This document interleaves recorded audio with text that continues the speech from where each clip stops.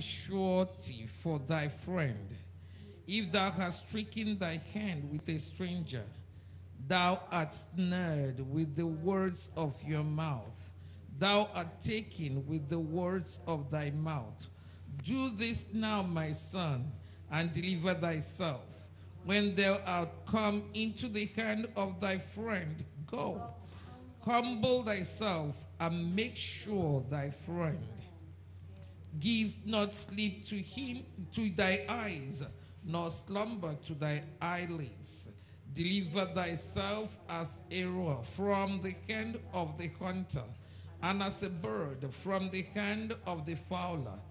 Go to the ant, thou sluggard, consider her ways, and be wise, which having no guide, overseer, or ruler, provided her meat in the summer, and gathered her food in the harvest. How long wilt thou sleep, O sluggard?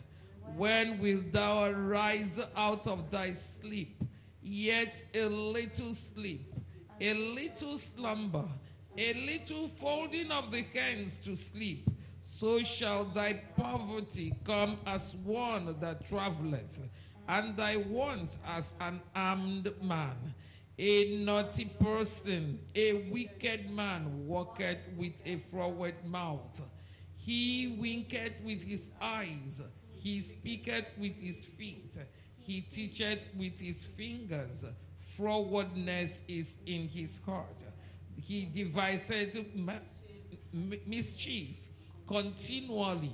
He sows discord. Therefore shall his calamity come suddenly.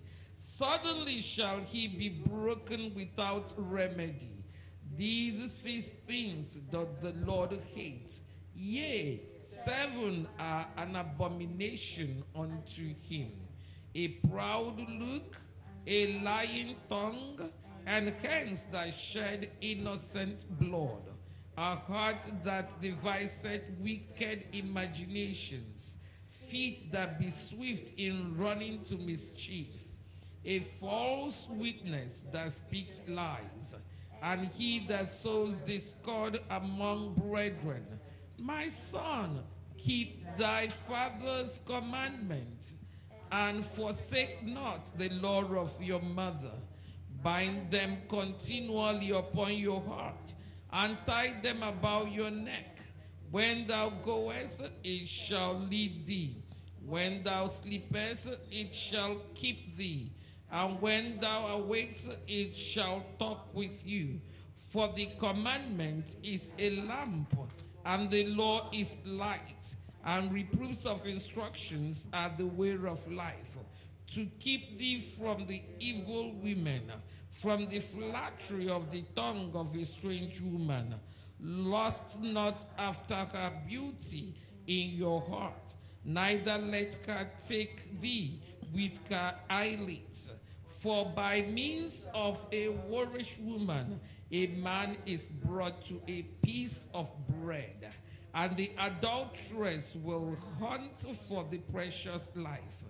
Can a man take fire in his bosom and his clothes not be burned? Can one go upon hot coals and his feet not be burned? So he that goeth into his neighbor's wife, whosoever toucheth her shall not be innocent. Men do not despise a thief if he steal to satisfy his soul when he is hungry. But if he be found, he shall restore sevenfold. He shall give all the substance of his house. But whoso committed adultery with a woman lacks understanding. He that does it destroys his own soul. A wound and dishonor shall he get and his reproach shall not be wiped away. For jealousy is the rage of a man. Therefore, he will not spare in the day of vengeance. He will not regard any ransom, neither will he rest content, though thou givest many gifts. Father, we thank you and we bless you and we glorify your holy name. Lord, thank you, Lord, for such a wonderful day that you have given to us, Lord. We are declaring, Heavenly Father, is rejoicing and celebration that is our portion. Lord, we thank you for this first Sunday, Lord, of this sixth month, Lord, of this year 2021, Jehovah. We are declaring, Lord, it is our season, Heavenly Father, our season of the miraculous. It is our set time, Lord. Lord, the set time of your favor being made manifest in our lives, of life, for health, for healing, being our portion. Jehovah, we declare it and we decree and we receive it with gratitude and with hearts of gratitude, Jehovah. We bow before your presence, Lord, and we declare and decree, Lord, that we will live and we will not die, and we will continuously celebrate your faithfulness, Lord, not just the sixth month, Lord, but throughout all the months of the year, Lord, and throughout all the years, Lord, that Jesus tarries. In the name of Jesus Christ, thank you for doing beyond our imaginations, Father. In Jesus' precious name, we have declared that we have hearing ears, Lord, and we have seeing eyes. And we hear what you are saying, Jehovah. And we see what you are saying to us, Heavenly Father. And Lord, we indeed enjoy your goodness. Lord, we remain examples of believers. Lord, and we remain witnesses of your goodness in this land of the living. Thank you for doing it, Heavenly Father. Be exalted. In Jesus' name we have declared. Amen. Amen.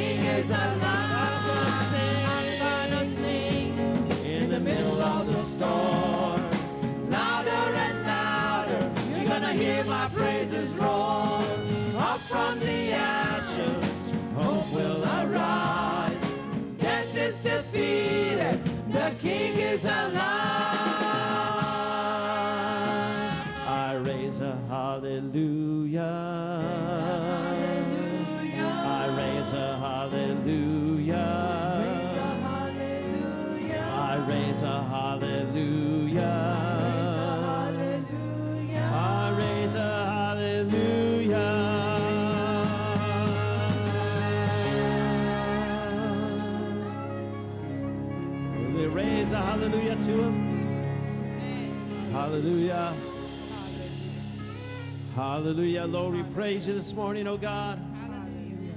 Hallelujah. Hallelujah. Yes, Lord. Hallelujah. Lord, we praise you this morning.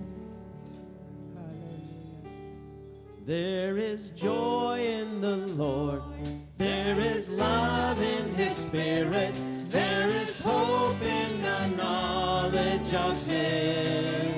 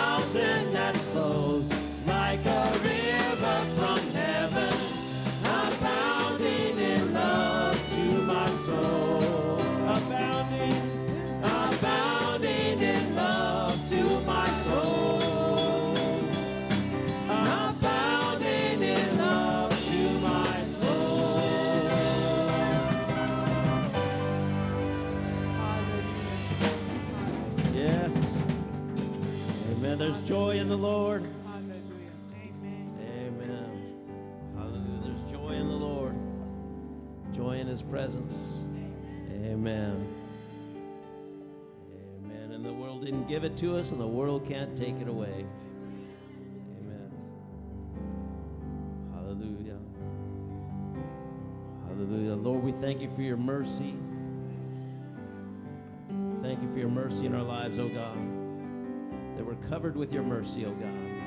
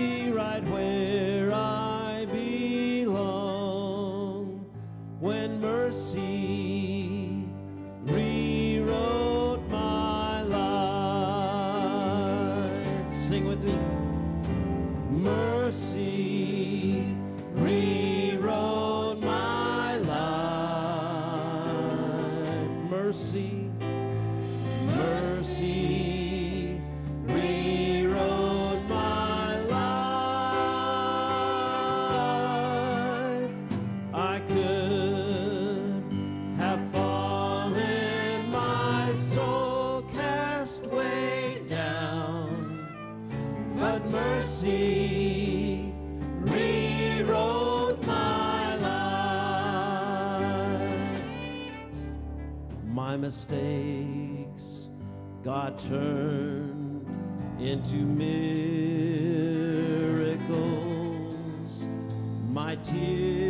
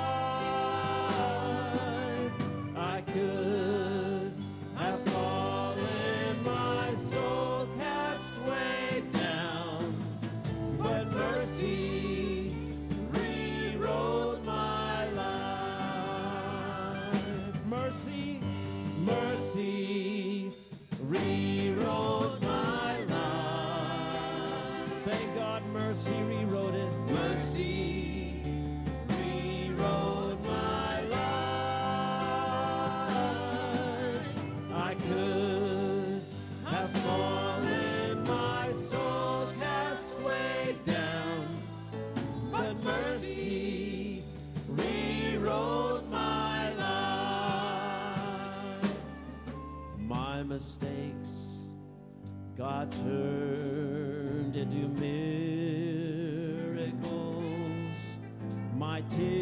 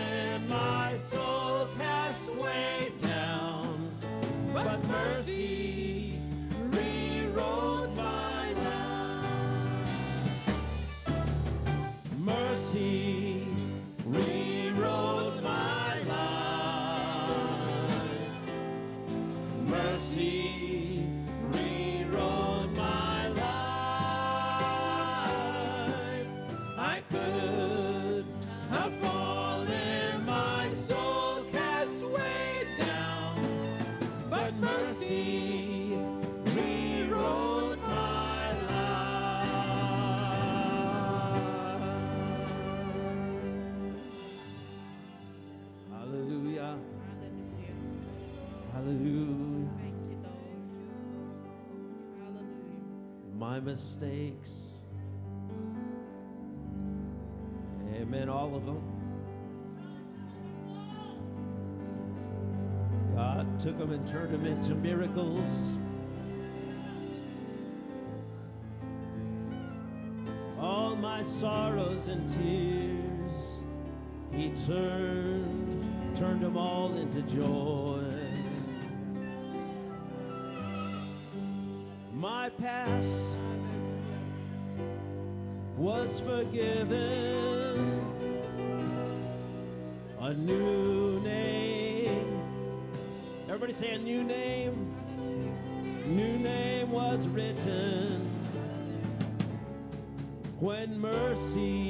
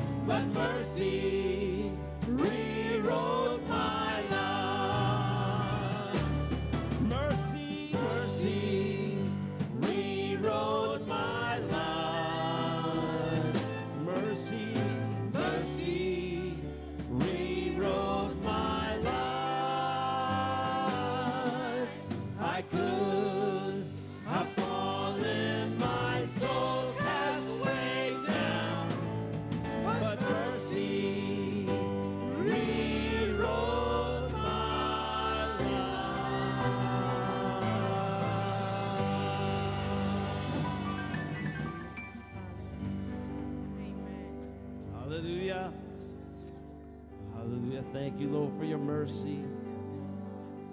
Hallelujah. Amen. We could have fallen, soul cast way down, but thank God his mercy rewrote our lives. Hallelujah. Amen. Let's be seated in the presence of the Lord this morning.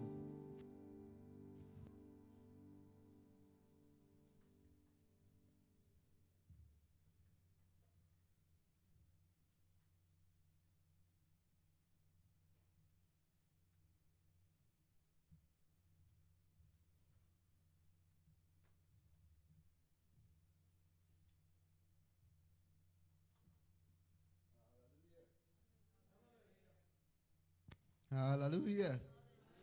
Hallelujah. God is good. All the time. Amen. Let us pray. Heavenly Father, we thank you for your loving kindness, for your grace that is more than sufficient for us. We thank you, O Lord, for loving us so much that you sent your Son, who humbled himself, became man, came and dwelt amongst us, just to show us how much he loved us. Mighty Lord, we thank you, O Lord, that he bore upon his back stripes that took away every pain, stripes that took away every disease, stripes that took away every calamity that the enemy will try to put upon us. He bore it upon his back so that we can walk free from them all. Heavenly Father, we give you praise. We thank you, O Lord, that he went to the cross of Calvary where he shed his blood, paying the ultimate price that we could not pay to reconcile us back unto you so that we will be justified, so that we can be called sons of God. As we commemorate that which he did for us, cause us, O Lord, to look up, to look forward to his soon return. For we know that he is coming back again. Heavenly Father, as we commemorate your love, let that love that you have shed abroad in our hearts flow, reaching out to one another. That men will see us and see the goodness of the Lord in in our lives and come and join us to fellowship you. Thank you, Lord, for doing it. Take all the glory, Lord. In Jesus' mighty name we pray. Amen. Today, we commemorate what Jesus Christ did for us to provide our redemption, to remove our disease and pain, providing health and soundness for our physical bodies, to remove our guilt and condemnation, providing forgiveness for our sins, and right standing before God. We participate in this act of remembrance with reverence, with joy, and with faith.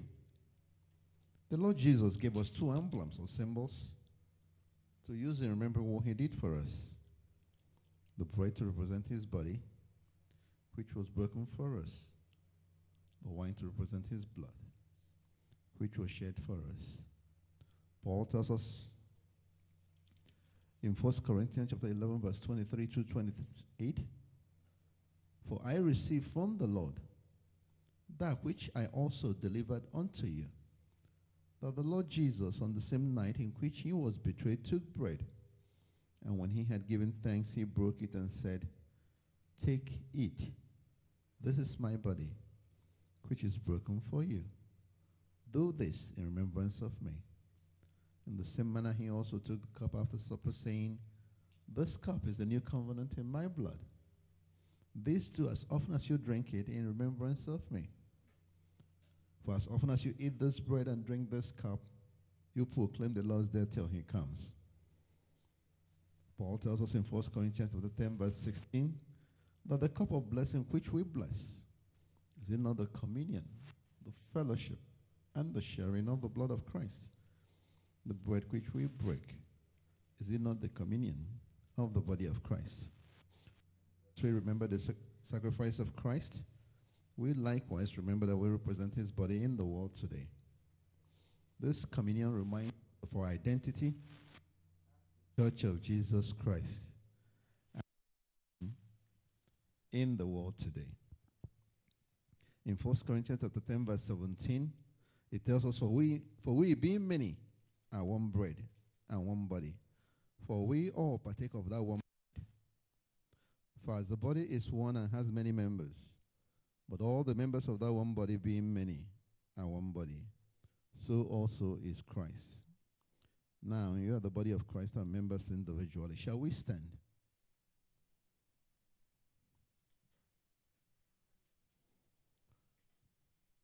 Bread which we will eat together represents Christ's body, which was broken for us, that we might become whole in Him. In his suffering, the Bible tells us in Matthew chapter 8, verse 17, that he himself took our infirmities and bore our sicknesses. In Isaiah 53, verse 4 and 5, it tells us, Certainly, he has borne our sicknesses and carried away our pains. And by his stripes, by his suffering, we are healed. Amen? Amen? Amen? This is an accomplished deal over 2,000 years ago, done once and for all. Our part is to believe. Hold on to the word.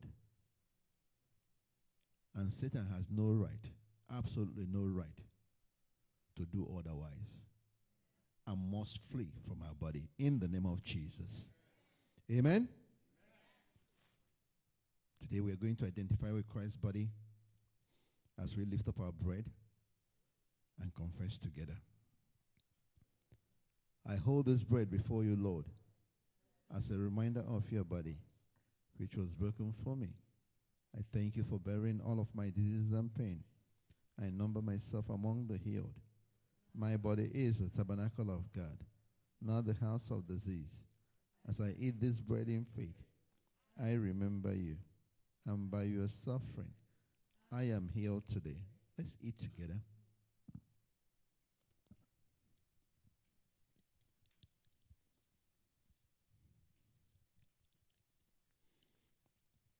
The cup which we'll drink together represents Christ's blood, which was shed for our sins. Jesus said at the Last Supper in Matthew chapter 26, verse 28, This is my blood of the new covenant, which is shed for many for the remission of sins. Apostle John tells us in 1 John chapter 1, verse 7, that if we walk in the light as he is in the light, we have fellowship with one another. And the blood of Jesus Christ cleanses us from all sins. The new covenant is one of relationship with God and with others in the body of Christ. Jesus said in John chapter 17, verse 21 through 22, I pray that they may be one in us, that the world may believe that you sent me. And the glory which you gave me, I have given them. Amen? Let's hold up our cup as we confess together. I hold this cup of wine before you, Lord, as a reminder of your blood, which was shed for me. Thank you for paying the price for all my sins. You bore my guilt and shame. I now have dignity. I number myself among the righteous. I am redeemed. As I drink this cup in faith, I remember you. By your blood, I am clean today. Let's drink together.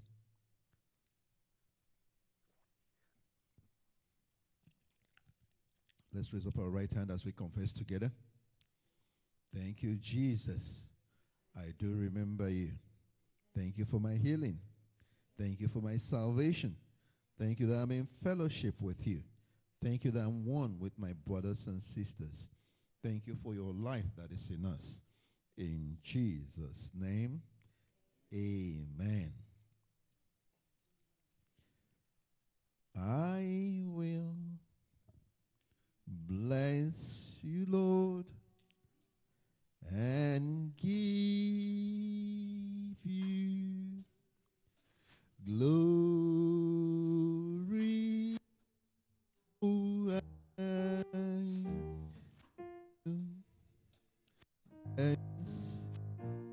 Name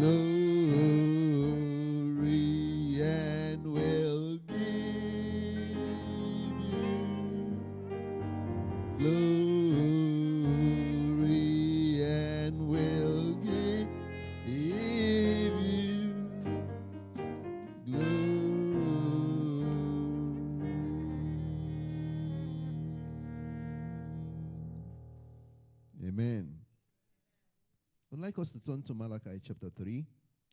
We're going to read verse 10 through 12.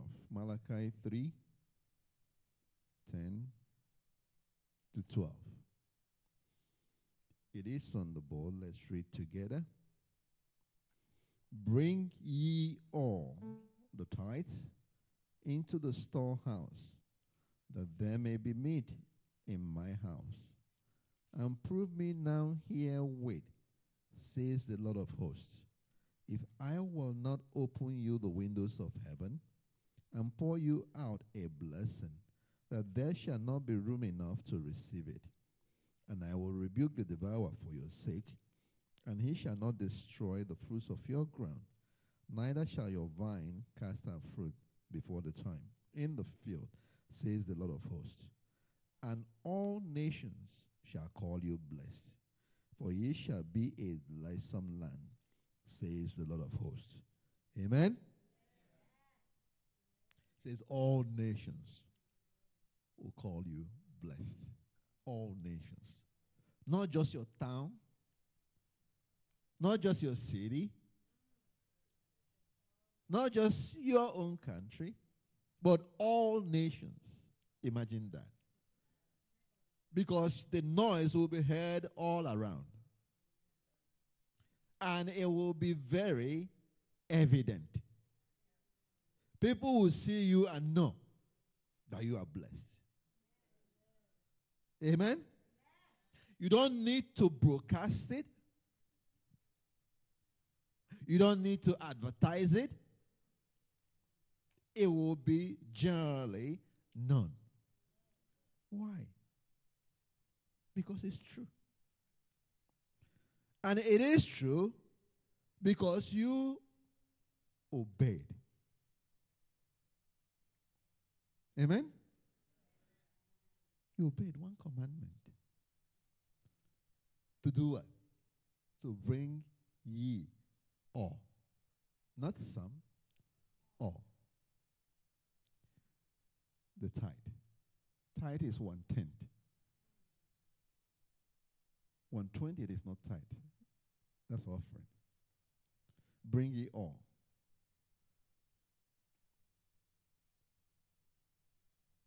The truth is that everything belongs to God. He doesn't need our money. He just wants to bless us more. But before he can bless you, he wants to know that you are a faithful servant, that you can handle more. And the way you show that is by giving of your tithe. See, giving of our tithe requires discipline. And when you have that kind of discipline, you can apply it in all areas of life. It requires prioritization. Knowing what is first and doing that first. Knowing what is important and putting them first. And the most important is to put God first invite God into your affairs. Anything you put in His hands, He will multiply.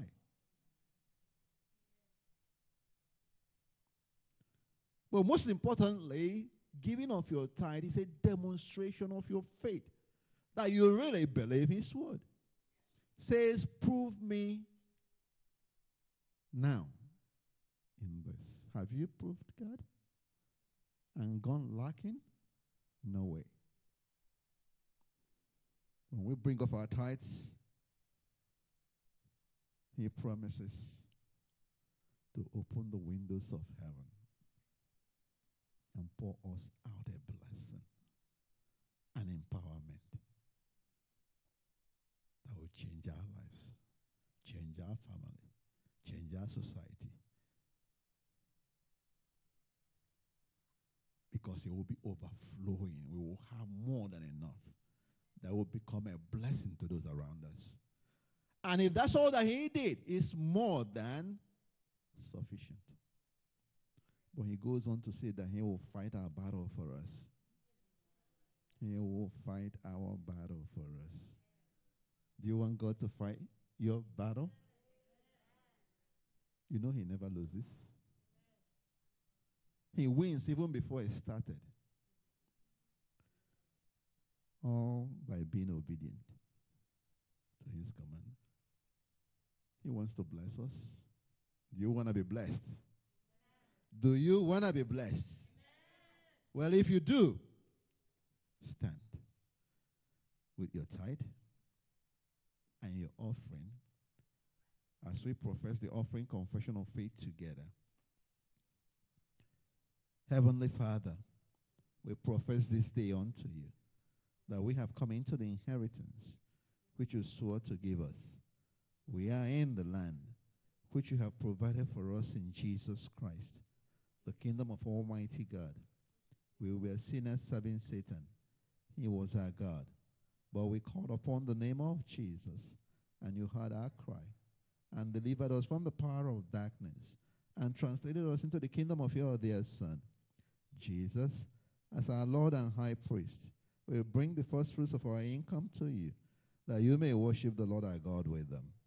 Father, we rejoice in all the good which you have given to us and our household. We have heard your voice and have done according to all that you have commanded us.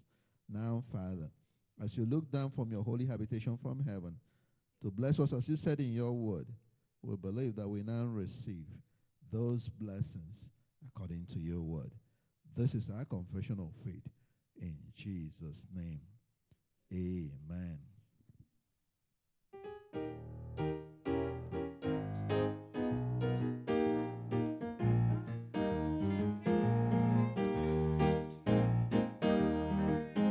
A mighty God we serve. What a mighty God we serve. What a mighty God we serve. What a mighty God we serve. What a mighty God we serve. What a mighty God we serve. What a mighty God we serve. Let us sing and praise the Lord. Let us sing and praise the Lord. Let us sing and praise the Lord.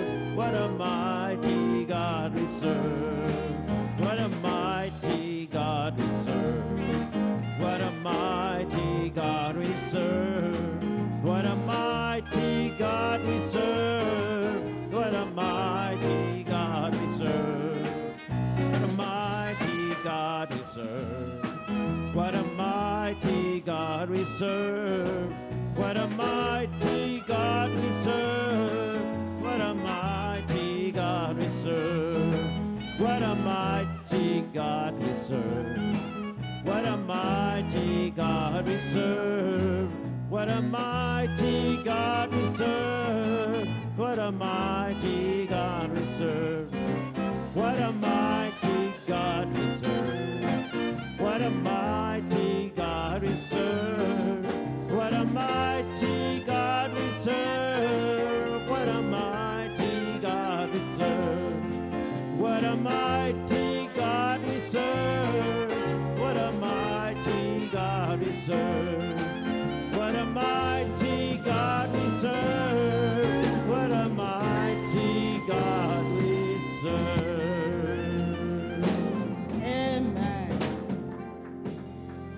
to dismiss our young people to go to their own classes. I believe they're already gone. Amen. You know that song Mercy rewrote my life. Oh my God. How many of you understood that song? You know, I was here just meditating on the mercy of God. And I, I, I was thinking about the blind men that came to Jesus. Um, one of them in, in the book of Luke, chapter 18. You don't have to turn to it. But there was something so special that that man did. He began to ask for mercy. In other words, he said, Have mercy on me. That's what he said to Jesus. Right? Under the old covenant, he knew it has to be mercy because they attached sicknesses to something the family did or some curse or something. So he began to ask for mercy, and Jesus called for him to be brought. Have you ever thought of some people that have gone through some challenges? And you know you've been through the same challenge, but you came out okay. And you probably will know what caused the challenge, but you are okay. And you know of somebody else that probably went through lighter problem and did not come out okay. How many of you understand what I'm saying? This song humbles me because we tend to judge when it's somebody else. Not realizing it's only the grace. Mercy is a subset of grace. Thank you. It's only the grace of God that you and I are where we are today. So I ask you to understand when you see me worshiping the Lord and I'm booing. I couldn't just help it. And I still don't want to help you because I know it's only mercy. I will give you a drastic example what God ministered to me because I, I have tangible examples to this. Some people had divo- I mean um, abortions when they were young and they didn't know better. But they are never able to have any more child. How many of you know what I'm saying? And then we have people that had abortions and they are having more children and more children. And some of you, we are probably, we can identify with this. But it's not because you did somebody a favor that made you now to be able to have a child. That's just one example. And there are people that have challenges with their children. And the enemy wants to play games in your mind is because you did this or you didn't do this. And then there are others that did worse things. And their kids are fine. How many of you understand what I'm saying? You know it's only because of the grace of God. So this song means a lot to me. I want you to allow the Holy Spirit to minister to you on some mistakes that you know has not gone in front to hunt you, but you know it's only because of the grace of God that those mistakes have been turned around into miracles. Can you sing that part and please join him? Please, two of you, three of you that are left here, please. This means a lot to me. This is the word of God. It's Romans 8 28. In case you are not familiar with what this song is, it's Romans 8 28. It's only the grace of God, the mercy of God, that we are enjoying the blessings of God. Amen. Hallelujah. my mistakes God turned into miracles. My tears He turned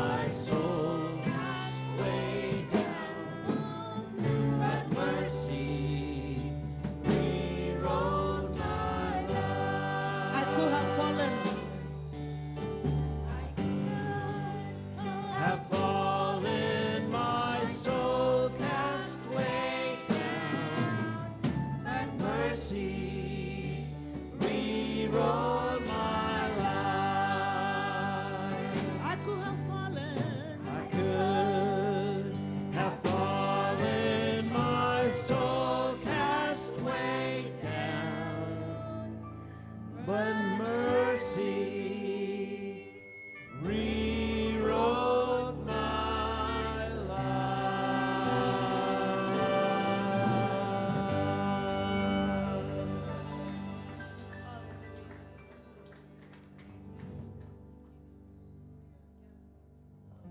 Lord, it's only your mercy, your grace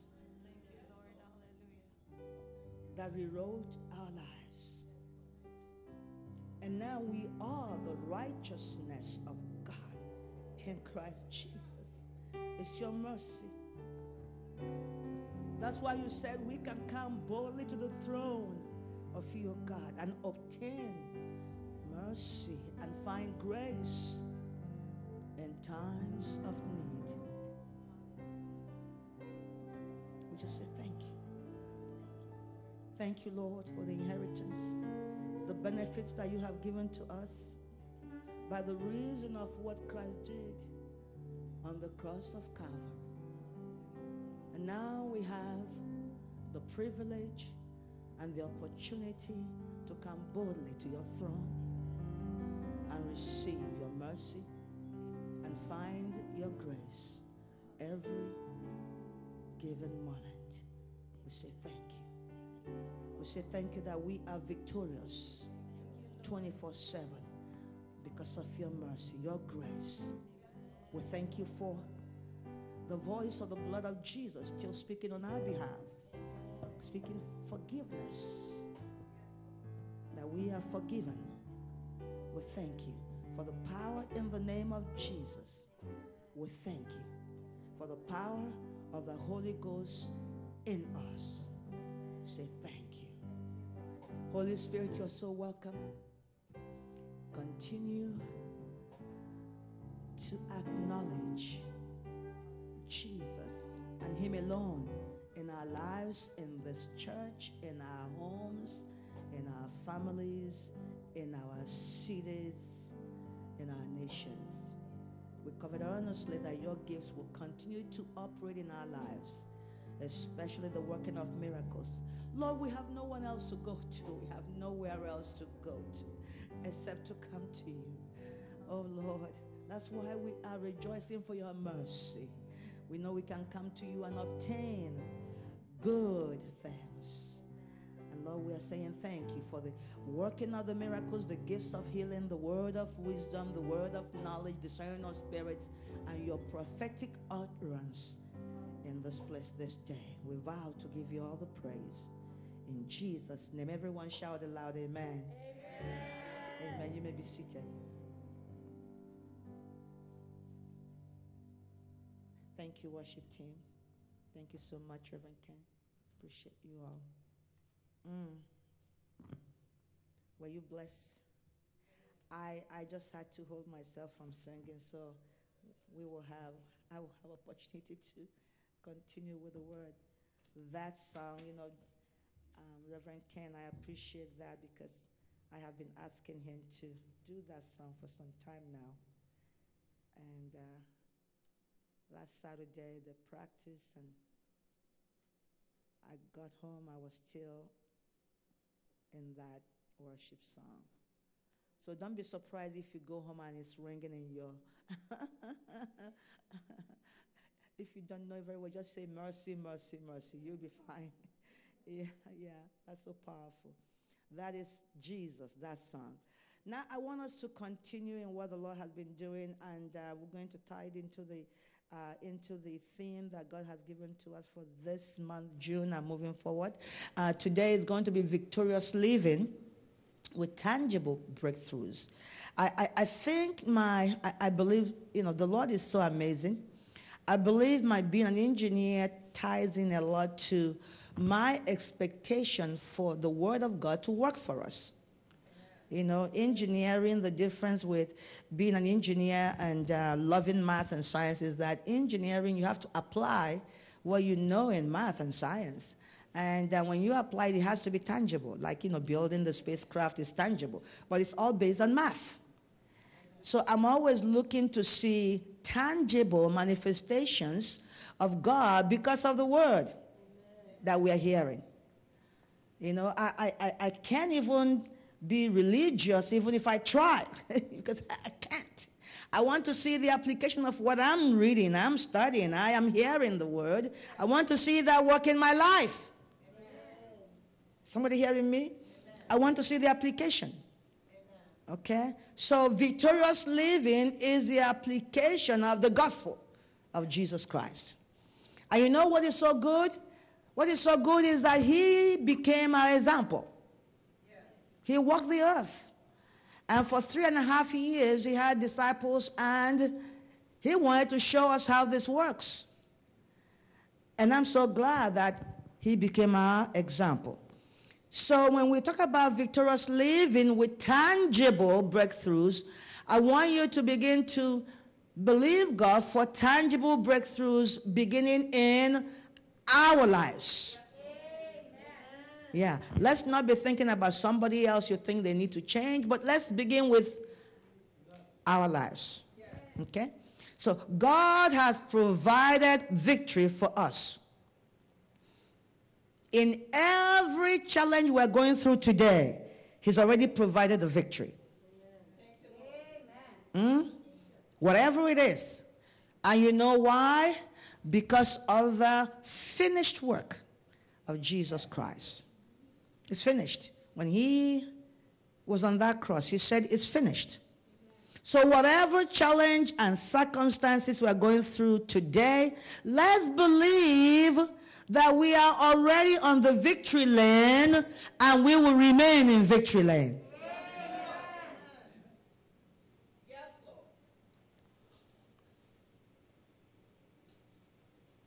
You know, one of the things that I, I have to deal with a lot in the engineering world, you know, when, when we have uh, situations about failures of anything that we have built, they want you to put in the likelihood that it's not going to happen again. How many of you, somebody is laughing already? And uh, I don't like that. You know why? I want to know that it will never happen again. So even if you get to the place that you have the likelihood of 99.9999999 that it will not happen again, I don't want the 99 point. I don't care how many nines. I want to know 100% it will never happen. Am I alone? Okay. Well, I'm here to tell you the word of God is 100% likelihood. That his word is yea and amen. And if he said it, it is guaranteed. you, you see how I, my thinking goes. Yeah, that's me. So I, I, I want you to join me. How many of you believe that God's word is true? And so if I am getting, if anyone, let's let's remove us. If anyone is saying, yeah, I know he said this, but I have only seen 60%. Somebody said that's not my portion. That's right. So we need to find out how can I get it to 100? Huh? How can I get it to 100? Well, today that's where we are going today. How to get it to 100. Because we know that God's word is yea and amen. And I'll, I'll begin with Isaiah chapter 55. Isaiah 55, verse 11. It says, So shall my word be that goes forth from my mouth. It shall not return to me void. Is that in your Bible? But it shall accomplish what I please. And it shall prosper in the thing for which I sent it. How many of you believe that? So when God's word is spoken by me, by you, by anyone that believes in him, when it goes forth, God is glorified and you and I are helped. You and I are delivered. You and I are healed. You and I are transformed by that God's word that are spoken by us. How many of you believe that? Shout amen. amen. It will never return to him void. Hmm? So every time we come and hear the word of God and lean into the Rhema word, everyone say Rhema word. The Rhema word is critical because some word will go forth on your head and bounce back and forth, right? How many of you have been there? You know what I'm saying. But you want the timely word in season. The Rhema word is a timely word when your knower knows beyond every shadow of doubt that God said he sent his word and his word healed us. That God said, Jesus Christ became poor so that I will be rich. That God said, our children are for signs and wonders. That God said, No weapon formed against me will ever prosper. When you know that you know that you know, that is when that word is Rhema word. that is from God's throne room for you. And that's when you can possess more and more of your promised land. Did somebody get that? You know what the Lord is saying to you and I today? The Lord is saying to us, there remains yet very much land to be possessed. That's Joshua 13 1. The Lord is saying there remains more and more of your promised land. There's still more that He wants to give to you. Mm-hmm. The Lord is saying there are areas in our lives where we are not possessing all that He has for us. And He wants us to possess them. Even right now, we may not know all those areas, but He will reveal them to us every day.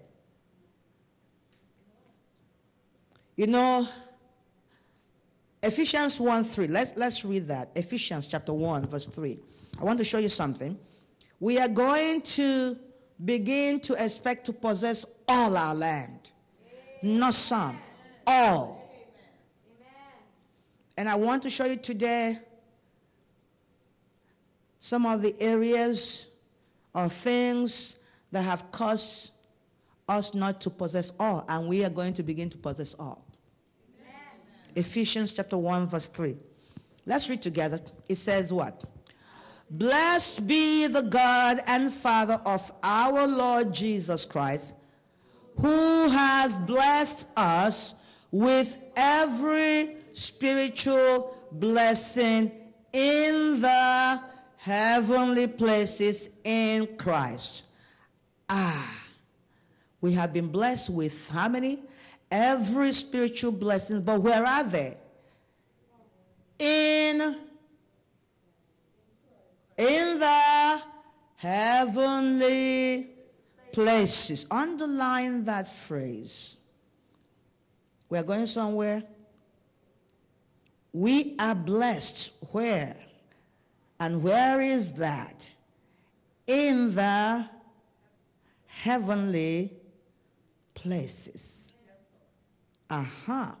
Let me see if someone is going to scream now, but the Word of God tells us also that in the same heavenly places that there is great spiritual warfare going on. Mm-hmm. Where do we find that? Ephesians 6, verse 12. And you know the spiritual warfare going on is to hinder us from possessing all that is ours possessing all our blood bought blessing.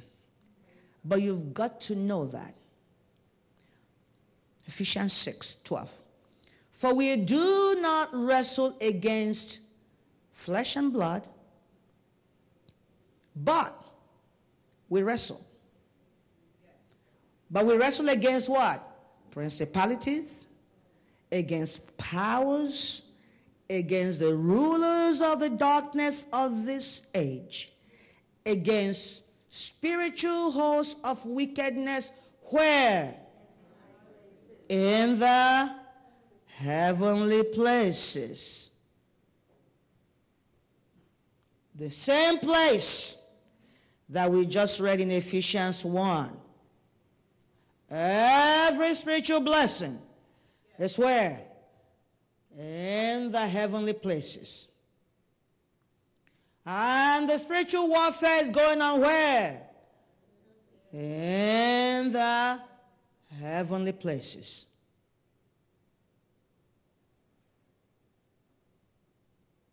You've got to know that. So the enemy does not want any believer possessing your possession. Remember, we've talked about this. We look at what God did with the people in the Old Testament, Old Covenant, and we use what happened there as an example for our lessons, for counsel,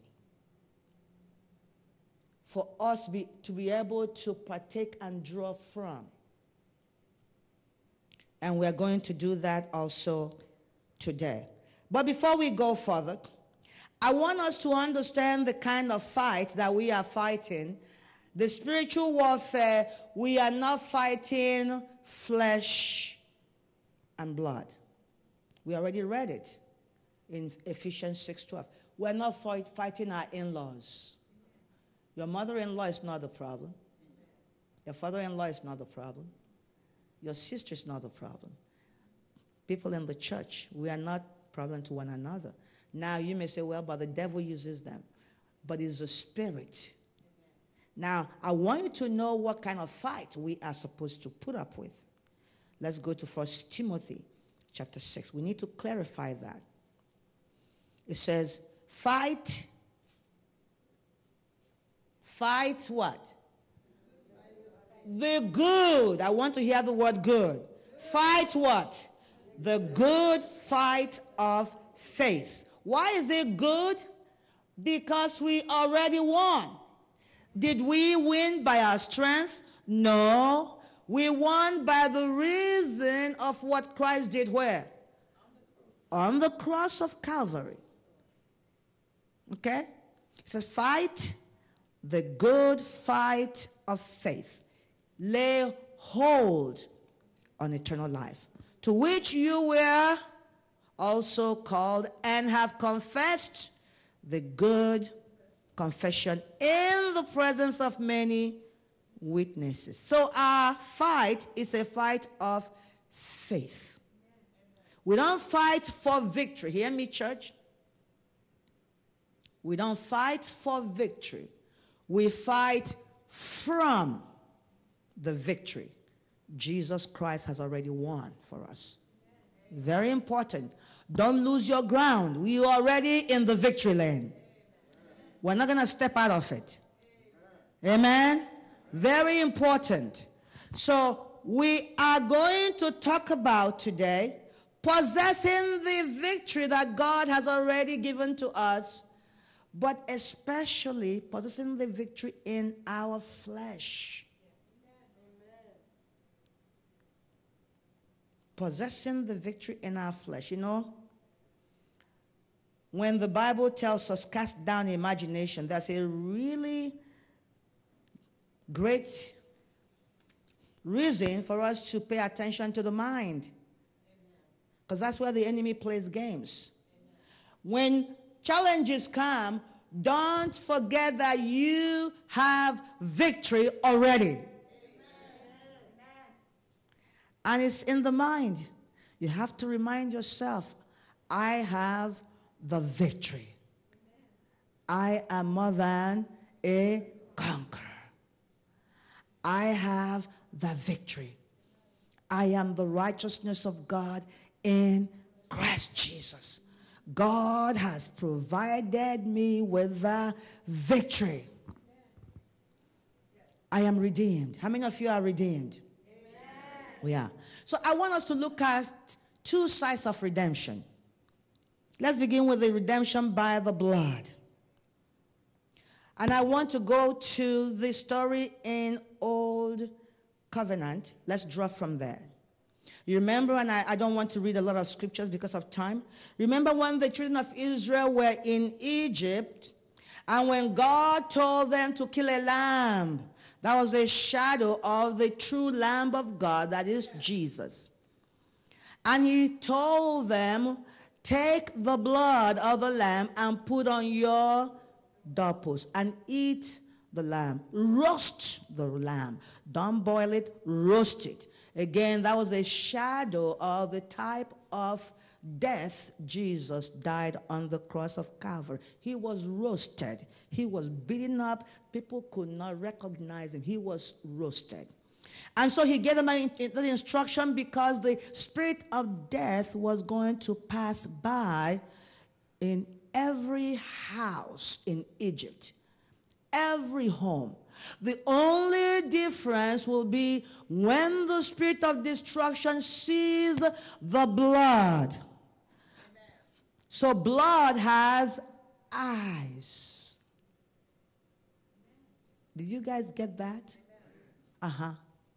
So, when the spirit of destruction sees the blood, the blood sees the destruction too and says, You better pass by. This place is not yours. I'm here.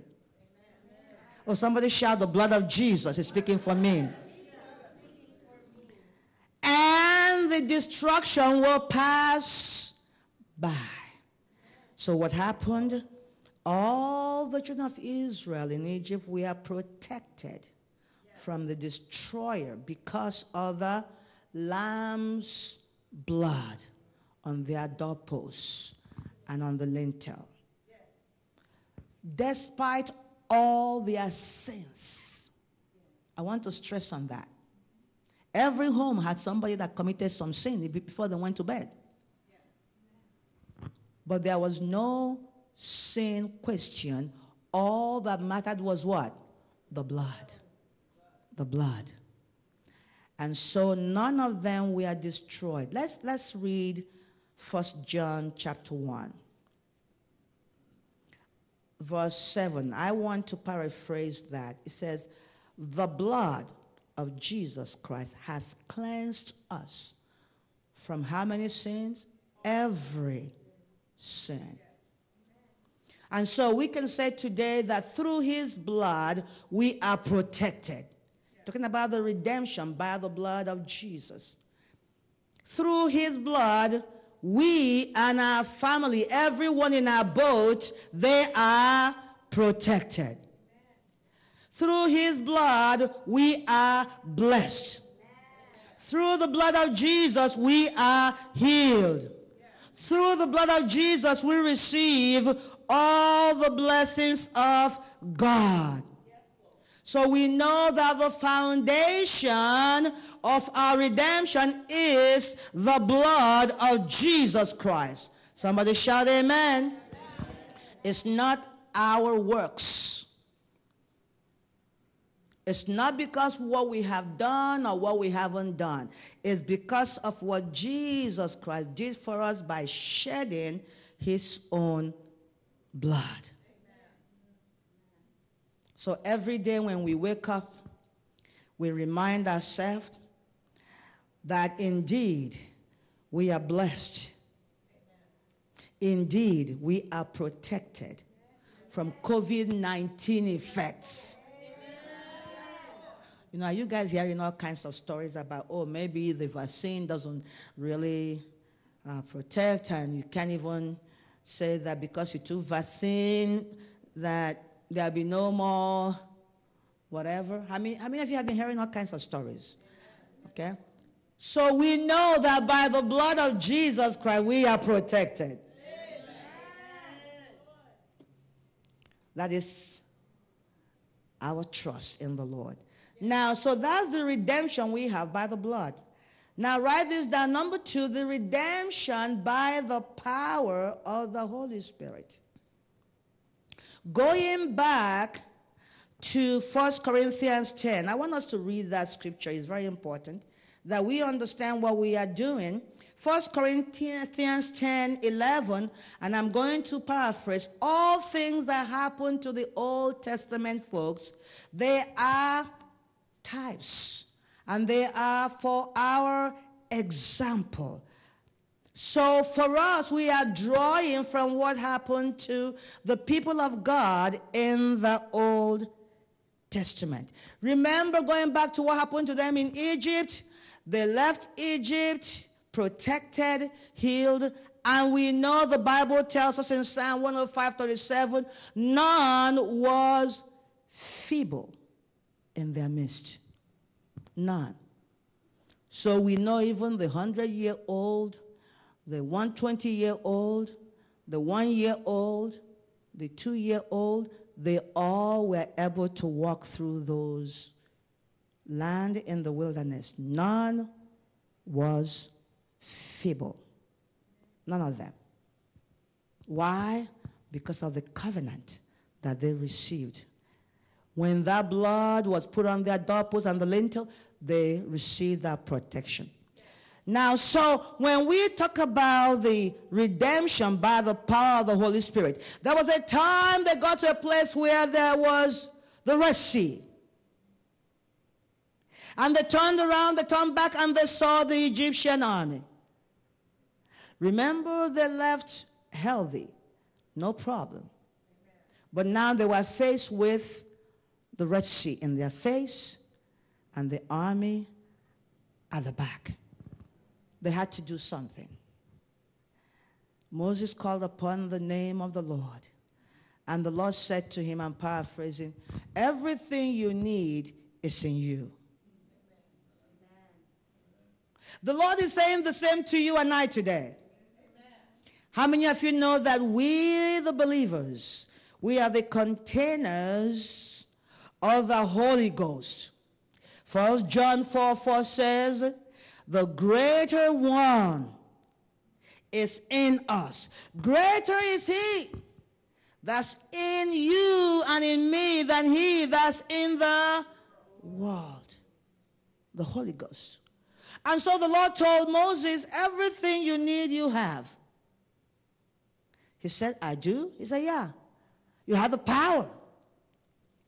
I have anointed you, I have called you out to be the one to deliver this one point over one point million people. You have the power to do that. I have the power. Yeah. As a matter of fact, what about the rod in your hand? What about the word I gave to you? Oh, that, yeah. So put it there and speak. Whatever you speak, you see it come to pass. Yeah. Really? Yeah. Somebody shout the power of the Holy Ghost. And that's what he did. He put the rod and spoke, and the Red Sea parted, and they crossed over. The power of the Holy Ghost in us the resurrection power of the Holy Ghost that raised Jesus from the dead dwells in us. We're talking about victory all the way, not just spiritually, but also in our flesh. There are many believers that have addictions. You can deliver yourself by believing you know, I truly believe that God has called us at a time like this for a purpose. I believe that the glory of God is going to be made manifest in the lives of believers as never before. It is very, very important that we begin to understand that we are set apart. So, though we've been saved by the blood of Jesus, we are also new creation in Christ. And we know that the flesh still remains in us. The flesh is that part of us that will cause sins to rise up. But I want you to know that God already has a plan for us. That that flesh will not cause us not to possess our possessions. Somebody shout amen. amen. Let's go to Romans 8. I'm going to show you some few things today. So then, verse 8. So then, those who are in the flesh cannot please God. It says cannot. It didn't say may not. Cannot please God. And we want to please God. So then, those who are in the flesh cannot please God, but you are not in the flesh. How many of you will say, I'm not in the flesh? Oh, you have to say it to yourself, I'm not in the flesh, but in the spirit. That's right, I'm still reading the scripture. If indeed the Spirit of God dwells in you, now if anyone does not have the Spirit of Christ, he is not his. So we are in the Spirit. You are not in the flesh, but in the Spirit. I didn't say that. I'm reading exactly verse 8 of Romans 8. Amen. You should be very happy. The enemy will like to play games and say you are in the flesh. The Bible says you are not in the flesh. Amen. And that's what the scripture says in Galatians 5 16 says, I say then, walk in the spirit. Why? Because I'm in the spirit. Walk in the spirit, and you shall not fulfill the lust of the flesh. For the flesh lusts against the spirit, and the spirit against the flesh, and these are contrary to one another, so that you do not do the things that you wish. This means that we are to see our flesh, the sinful tendencies, apart from us. The real you is the spirit. Oh, that amen is so like, are you really sure? Why don't you just believe it by faith? Romans 8 11. But if the spirit of him who raised Jesus from the dead dwells in you, he who raised Jesus from the dead will also give life to your mortal bodies through his spirit who dwells in you. Do you believe it? You know, Apostle Paul went through this. He struggled with his flesh. And he, he talked about it openly. He was a humble man. He talked about it openly. He said in chapter 7 of Romans, verse 18, For I know that in me, that is in my flesh, dwelling, dwelleth no good thing. He said nothing good is in it, in the flesh. But he's looking at himself. The real him is the spirit, right? For the good that I would that I will, I do not, but the evil which I will not, that I do. Ouch. Now, if I do that, I will not. It is no more I that do it, but sin that dwelleth in me. He, he, he struggled with this. But you see, he was making a very, very great distinction between flesh and the real him, the spirit man. So the Bible is telling us in our flesh dwells no good thing. And we need to know that. And when you know that, then you are going to apply what I'm going to show you today. I'm here to tell you the flesh is a symbol of self righteousness. And that's why the flesh feels frustrated when it does bad. The flesh is always self occupied. When you know that you are the righteousness of God in Christ Jesus, You'll be paying attention to what Christ did for you and not paying attention to the flesh of you. Did you, did you get that? The Bible tells us this is now one of my favorite scriptures, First John chapter 4, verse 17. As Christ is, so am I. Right here in this world. As Christ is, so am I. Where? Right here in this world. Put on your seatbelt on this scripture, Ephesians chapter 5, verse 30. For we are members of his body. Pay attention. Every one of us that's born of God, we are members of whose body? Jesus Christ, right? Of his flesh and of his bones. Okay? Let that settle.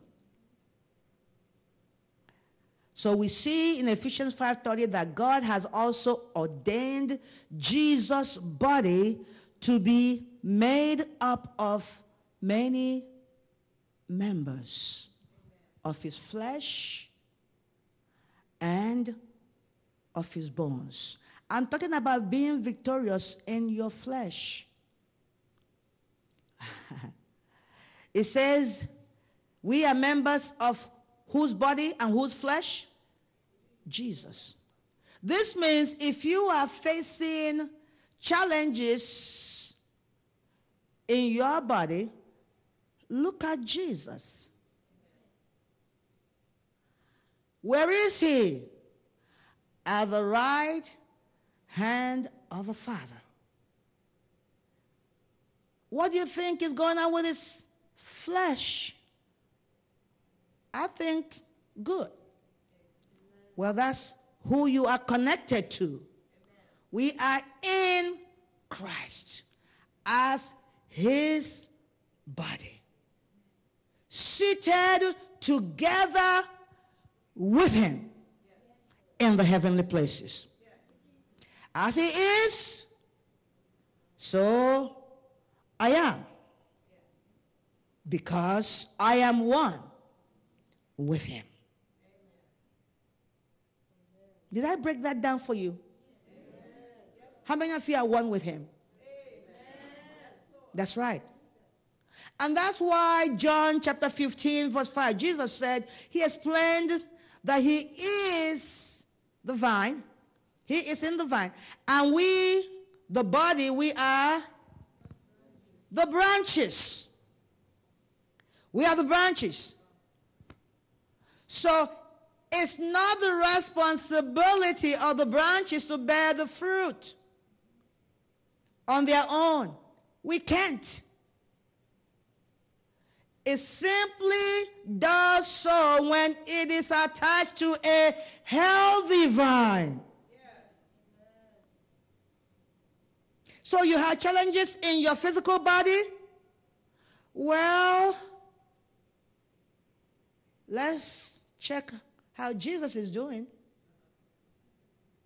Look at Jesus. As he is, so I am. Where? Right here in this world. Listen.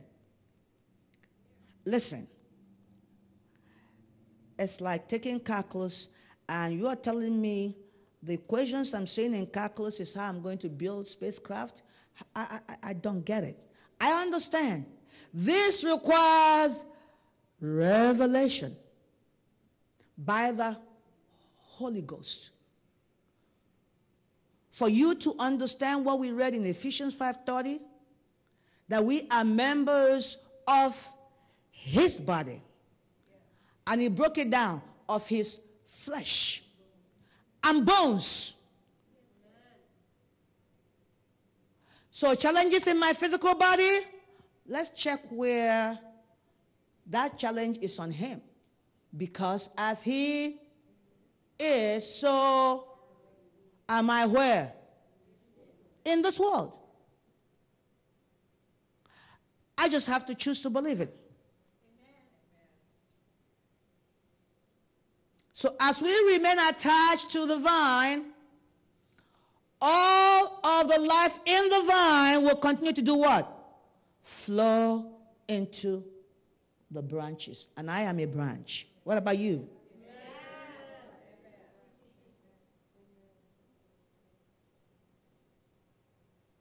It's also the responsibility of the gardener to tend to the vine and the branches. It's not my responsibility. The gardener does it. And this is the picture of our Heavenly Father who tends to us. John chapter 15, verse 1. We are one with Jesus. Jesus is our true identity today. First John 4 17. Let's go read all that together again. First John 4 17. Everyone join me. Love has been perfected among us in this, that we may have boldness in the day of judgment, because as He is, so are we in this world. We don't have to do anything to make ourselves one with Christ. In the eyes of the Father, we are already one with Him. We are already seated with Christ at the right hand of, of God. That is in reality. And that's what God the Father sees. Anything that's happening to our lives right now is only temporary. And you should expect it to buzz off. Because the reality is that we are one with Christ. And as He is, so I am. You, you tell yourself. So I am where? Right here in this world.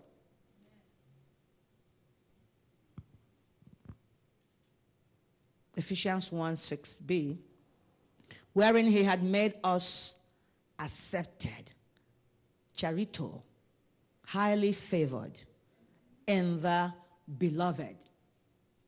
How many of you know that he highly has favored you and I? That word accepted in Greek is charito, means highly favored. It's the same word that was used to describe Mary in Luke chapter 1, verse 28, that was chosen to be earthly mother of Jesus. She was highly favored. You and I are highly favored. Ooh, I like that. I like that. So there's no old me, poor me, sinful me. Forget that. In humility, I say, forget that. Galatians 2:20.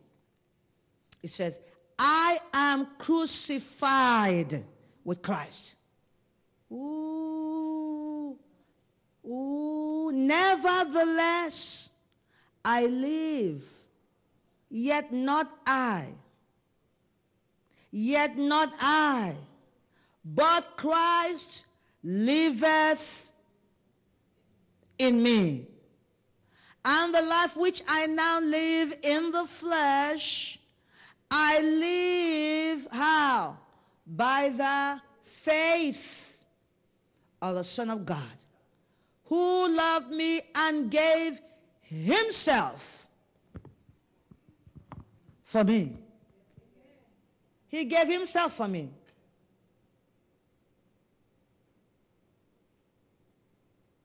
At the cross, Christ didn't just die for our sins, but he died as us. So, as far as God is concerned, your old self whose flesh dwells no good thing was crucified with Christ at the cross. We have to believe it. And I know I understand it's challenging when you see yourself, you, you mess up again. Get up and remind yourself, I live by faith of the Son of God. Whenever you're feeling weak in faith, remember you are resting in the faith of the Son of God who loved you and I so much and gave himself for us. So it's not about my flesh, it's about Jesus' faith. So as Jesus is, so am I where? In this world. In this world. And so the Lord has been ministering to me about the areas of different challenges. Oh my God. How many of you have felt like, you know how you have a firewood um, and your fireplace? Now they have the artificial ones you burn. And it's like the firewood is, is a good example that I want to use. It's like it keeps on burning. Before you think it's, it's about to burn out, somebody just shuffle some more wood. How many of you have been feeling like the fire of the enemy has been burning without stop? And you're going, angels, angels, get this fire out.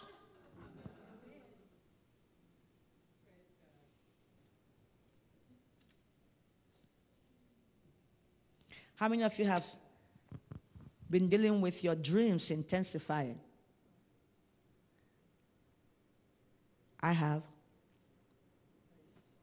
And then getting up to go pray.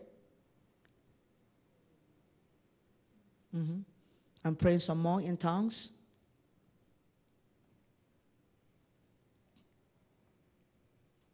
We're not dealing with flesh. The attack of the enemy has intensified, but the glory of God is going to intensify some more.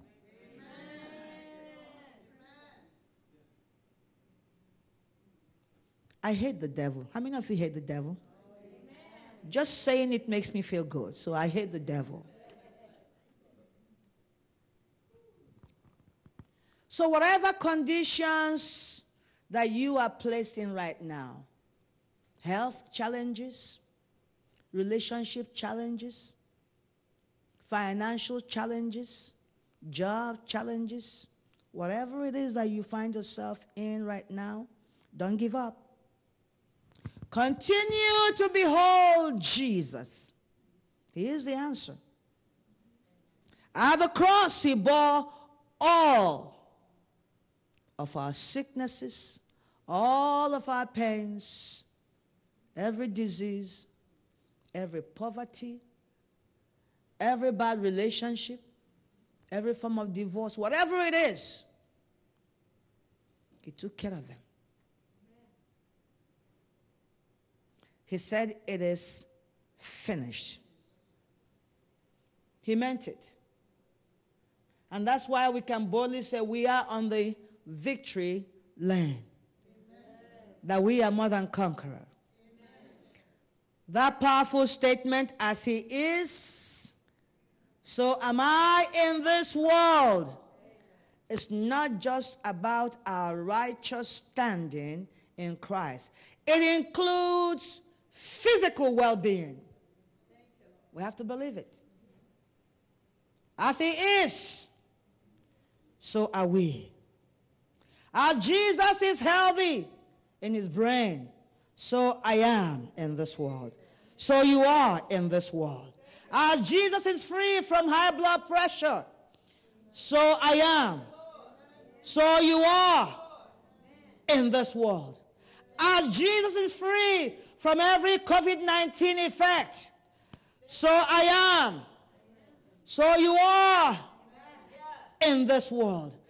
as Jesus is free from every spirit of poverty, so I am. So you are in this world. As Jesus is free from every children's problem, so I am. So you are in this world. Personalize it. Let it become your own statement. As he is, so I am. As he is, so you are. Believe it. The Bible makes it clear that we are members of Jesus' body. We are members of his flesh. We are members of his bone. This means as Jesus is healthy in his flesh, as Jesus is healthy in his bones, so I am. So are you in this world. And that means you and I begin to possess our possessions beginning now. See Jesus as he is, because that's how I am. That's how we are. Let's all stand to our feet. As Jesus is, so we are. As he is healthy in his brain, as he is healthy in his heart, in his feet, in his liver, in his kidney, as he is, so we are. Open your mouth and begin to declare any any area that you want to remind yourself that's how you are. As Jesus is free from every addiction, so are my children and my grandchildren. As Jesus is free from every form of drug, alcohol, so are my children, my grandchildren, all our young people in this church. So are we free from every addiction of every type. As Jesus is free from every weed and every dope, so are our children free from them all. As Jesus is free from every violence, so are our children free from every violence in the name of Jesus. As Jesus is free from every weapon thrown against him because he is above all things, so are our children and us. We are free from every weapon that the enemy will try to throw against us in the name of Jesus. As Jesus is free from every calamity of the enemy, from every arrow that may be thrown against him, he is free from them all so are we and our family, our children, our grandchildren, our parents, our cousins, our aunties, our uncles. So are we free from them all in the name of Jesus. This is our reality. We believe that we receive. We believe that we receive. We are not moved by the things that we feel, for our feelings are not our barometers. The truth of your word, my God, we rely on. As Jesus is, so are we. We believe by faith. You say that we should walk by faith and not by sight. We should walk by faith and not by the things that we feel, nor the things that we see. So we believe you. We believe your word. As Jesus is, so are we. We say it's granted. In Jesus' name. Amen. And amen. Amen. Amen. How many of you have received from the Lord? I pray even right now, anyone that is going through any challenges, it's already done because you opened your mouth to say, as Jesus is, so are you. Jesus has no health issues. And so we have no health issues. Why? By faith, as Jesus is, so am I. Say that with me. As Jesus is, as Jesus is, with no health issues, so am I. Right here in this world. In Jesus' name. Somebody shout amen. Every head bowed and every eyes closed. No one moving around. If you are here, you do not know Jesus as your Lord and Savior. I would like to pray with you because we've been talking about as Jesus is, so are we. For you to be able to partake of that inheritance, you have to receive Him first into your life. Very simple prayer. He says, Come as you are. I want us to pray this prayer, church. Anyone that has prayed that prayer in the past, let's all together join our faith and pray with others. Repeat after me Dear God in heaven, I believe Jesus died for me. I believe he rose again that I may have eternal life. Lord Jesus, come into my heart, be my Lord and my Savior. Forgive me of my sin. Fill me with your spirit. In your name I pray. Amen.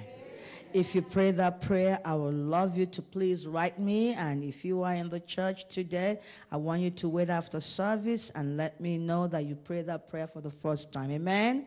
Amen. Let's share the grace together. May the grace of our Lord Jesus Christ, the love of God, and the fellowship of the Holy Spirit be with us now and forevermore.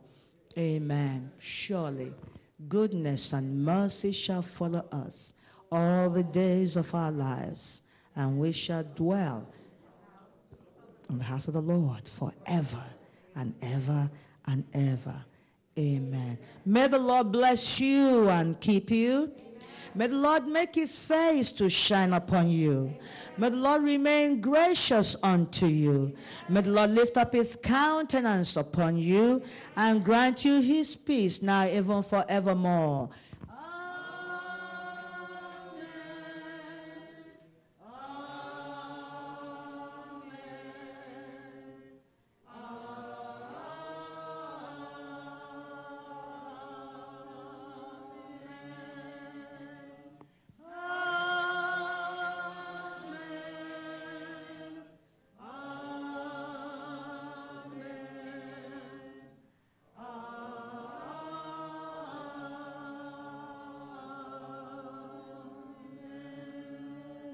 Shalom, everyone.